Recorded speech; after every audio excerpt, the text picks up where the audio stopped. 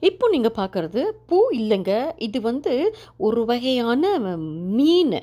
ஆக்சுவலாக C anemone அப்படின்னு சொல்லுவாங்க. Ripley's believe it or not அங்கே போகும்போது இந்த மாதிரி பார்த்தங்க.